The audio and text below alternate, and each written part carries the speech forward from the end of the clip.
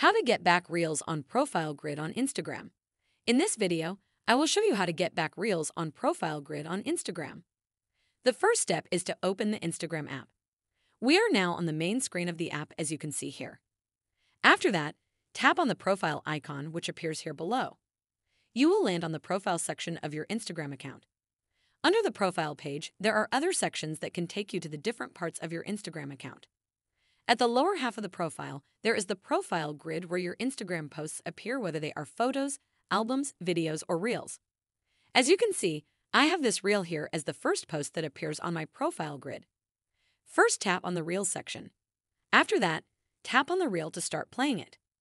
Please make sure you follow this tutorial step by step to avoid making any mistakes. Okay, let us proceed. After that, tap on the three dots here at the bottom. A section with options shows up as you can see. From those options, tap on this one named Manage. You will be taken to this section where there are other sections such as Edit and Turn off commenting. There is one option named Remove from Profile Grid. Tap on it. As you can see, the reel has now been removed from the profile grid. When you go back to the profile grid, the reel is missing. Okay, let me now show you how to get it back to the profile grid. Once again, tap on the three dots here. After that, you will see several other options. Among them is one named Add to Profile Grid.